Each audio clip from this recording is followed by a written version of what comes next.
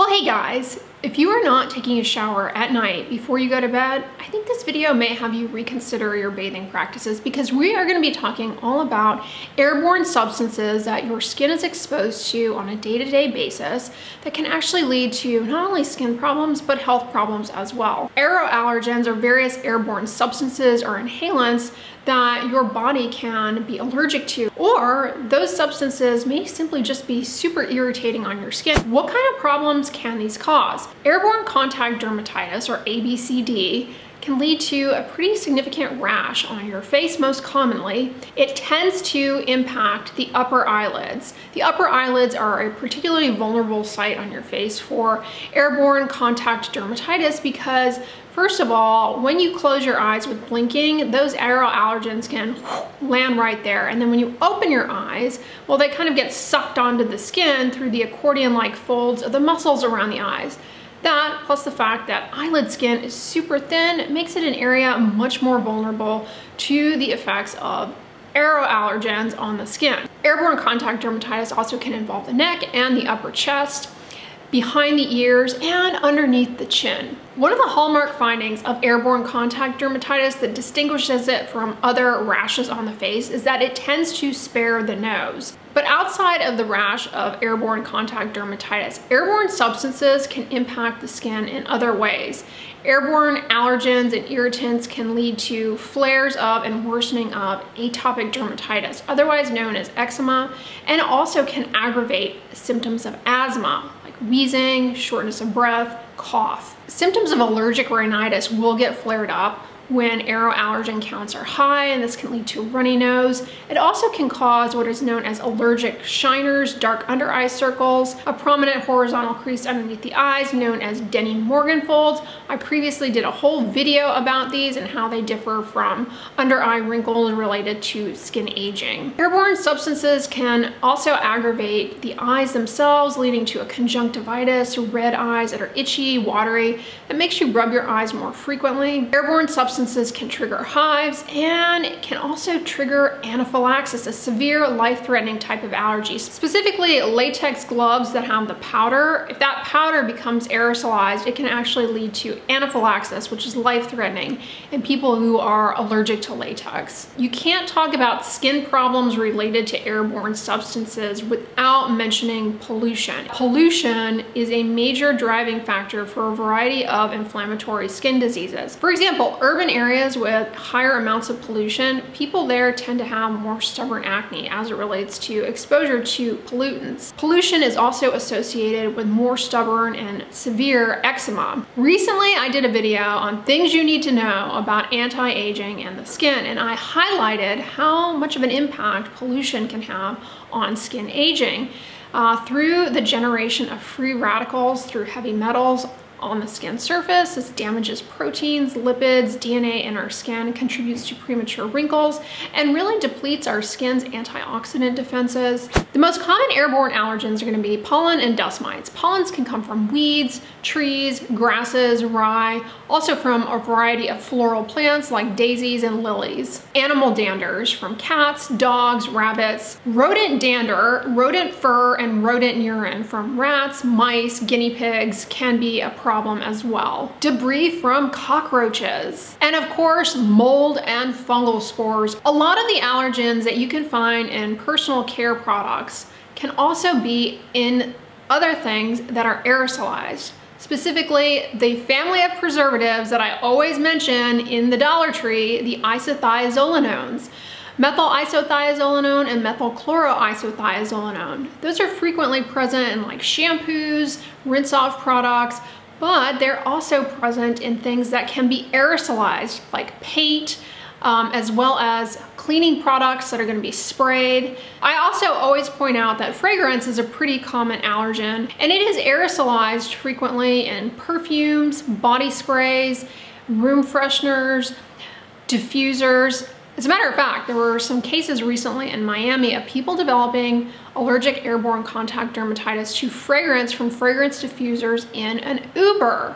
As you can imagine, being inside of a car, stuck in traffic, and the car is diffusing fragrance, that is a setup for airborne allergic contact dermatitis in those who are sensitive to fragrance and allergic to it. I like to point these things out to you guys because there's a tendency to attribute all skin problems to skincare products.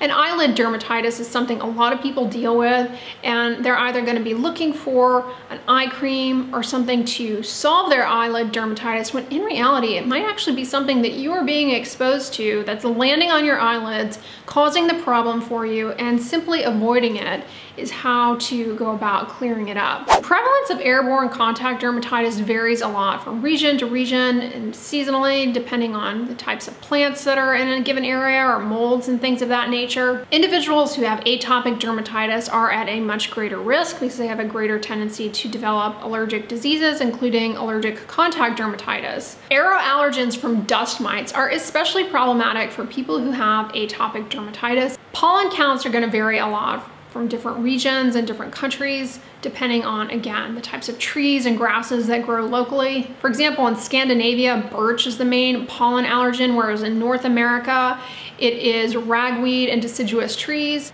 Olive pollen is actually pretty prevalent in the Mediterranean. Feverfew and mugwort in Eastern Europe and India, and the Japanese cedar throughout Japan. In the case of airborne allergic contact dermatitis, how do you even know that you have that? How is it diagnosed? A dermatologist can diagnose this by looking at your skin, the distribution of the rash, as I mentioned, upper eyelids especially, by taking your history a history of relevant exposures and your occupation may guide them to lean towards airborne allergic contact dermatitis. Then they might do something called patch testing, where basically we put different allergens on your back and have you come back and we see if there's a reaction there and that can help determine what you are allergic to. And in some cases, uh, skin prick testing and blood tests for allergies may be necessary as well. How do you go about preventing exposure to these aerosolized compounds that can either be allergens or irritants or just not good for your skin health, things like pollution? Uh, avoidance is key, but that's easier said than done. It's pretty hard to avoid completely. In the case of pollens, be aware of allergenic plants in your area. Pay attention to local pollen count forecasts and try and stay indoors on days where pollen counts are high. Stay on top of household cleaning in areas that are prone to a lot of moisture, like basements, around the laundry area and in the bathroom. Make sure that you are not only keeping those areas super clean and dry, but that they have good ventilation so as to reduce mold formation. Mold spores, they can be very problematic for not only your skin, but for triggering allergic uh, symptoms, rhinitis, runny nose, itchy eyes, and if you have asthma, they can really be a problem and they can trigger eczema flares. After you get out of the shower and you dry yourself off, don't leave wet towels hanging up in the bathroom. They don't dry very thoroughly there. Not only can that harbor molds and things, but it also can harbor bacteria that can then be transferred to your skin. It's just not a good idea. So make sure you're cleaning your towels regularly. This is especially true if you have a bathroom that just isn't well ventilated and a lot of humidity collects. You wanna make sure that you're not storing your used towels in the bathroom can further harbor molds and things. Now, if you have pets, you wanna be mindful to bathe your pets frequently to help with controlling pet dander, which is a common aerosolized allergen for a lot of people, especially people who have atopic dermatitis. But also pets pick up aeroallergens themselves on their fur and that can get transferred to you as well as to like your bedding, your pillow, so make sure that you're wiping your pet's coat off when they come back inside from taking them out so that you minimize bringing in those aeroallergens and transferring them to like your pillow and things, which you're then gonna later on go to bed and be exposed to that at night. That can trigger allergic symptoms, which tend to get worse at night, make your eyes watery, itchy, worsen the appearance of dark circles. So wipe your pets off when they come inside, bathe them regularly. Pollen counts tend to start rising in the early morning and peak in the afternoon, that's around the time when allergic symptoms can worsen. So if you're someone who goes outside uh, either you know to enjoy the outdoors or you go outside to walk your dog around that time, just be mindful of the fact that you might be bringing in more pollen with you. If you, if you spend time outdoors, especially in the afternoon, make sure that you don't uh, like go inside and sit on your bed because that pollen and pollutants and things can transfer to your bedding and it's there waiting for you when you go to bed that night to aggravate allergic symptoms, atopic dermatitis if you have it, and you know, sniffling, sneezing, it can worsen itch and just be in a cult cause of problems for you and your sleep pattern, all sorts of issues. Let's talk about managing dust mites because as I said, for people who have atopic dermatitis, dust mites can really be a problem, but for everyone as a whole, and if you've got asthma, they can trigger asthma exacerbations. Dust mites are arachnids and they feed off of skin cells that you have shed off and they actually shed their exoskeleton, which can be aerosolized and cause allergic symptoms, but their poop has this casing around it that also can be aerosolized and trigger allergic uh, reactions, worsening eczema, worsening asthma, and just overall irritation. People always point out how you should be washing your pillowcase regularly to help prevent breakouts, but really the main reason to, one of the ma major reasons to wash your pillowcase frequently, as well as all of your bedding, is that it harbors dust mites that can trigger allergic diseases and aggravate the skin and cause irritation.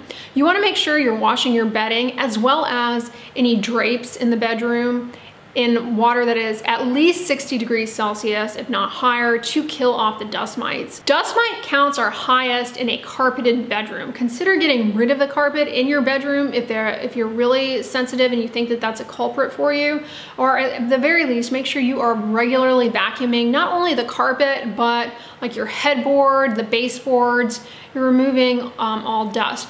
The thing about dust mites is they come out in the dark. They, they're, they don't come out if it's light out.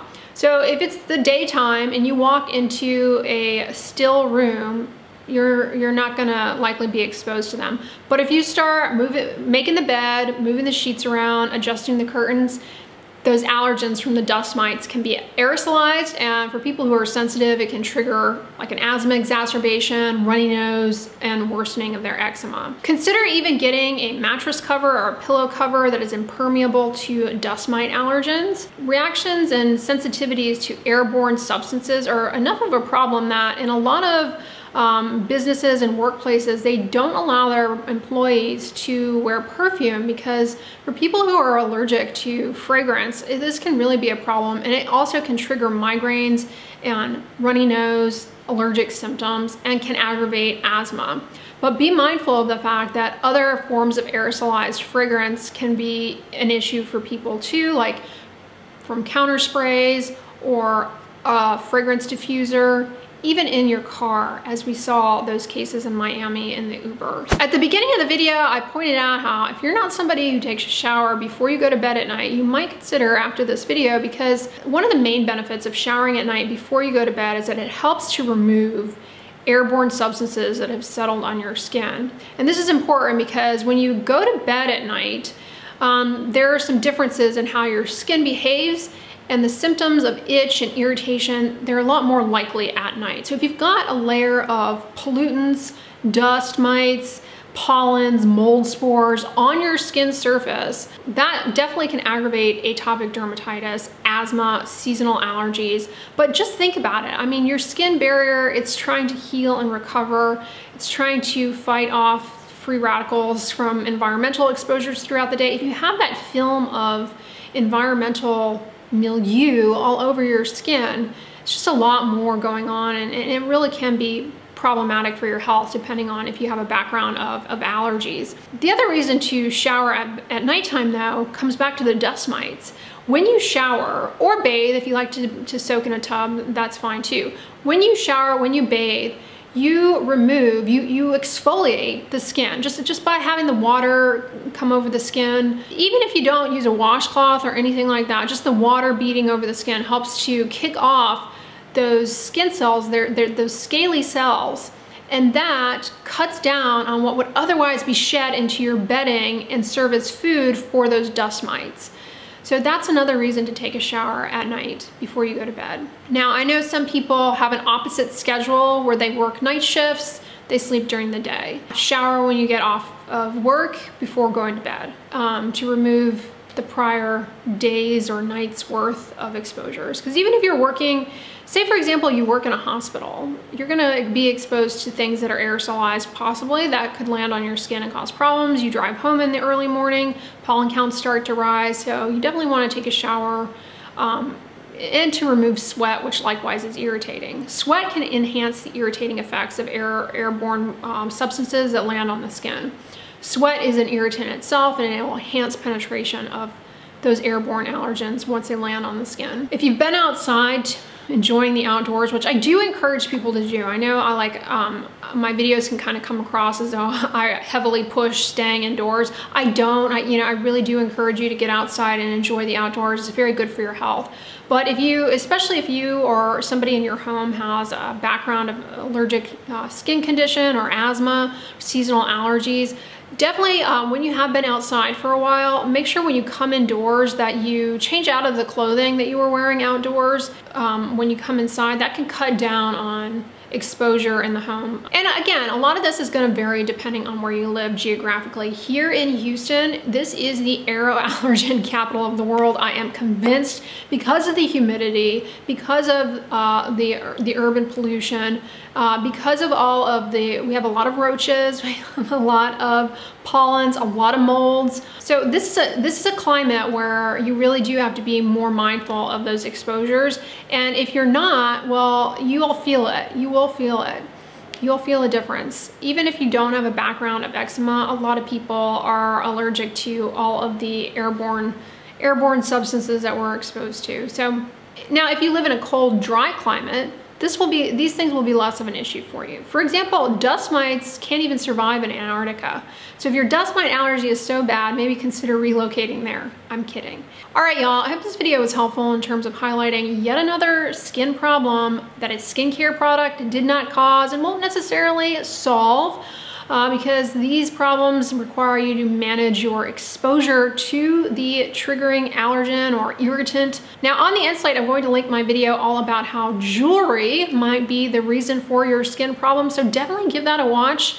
Some similar concepts in that video of yet another common allergen and problem for the skin outside of skincare products. So definitely check that one out next. But if you guys enjoyed this one, give it a thumbs up, share it with your friends. And as always, don't forget, sunscreen and subscribe. I'll talk to you guys tomorrow. Bye.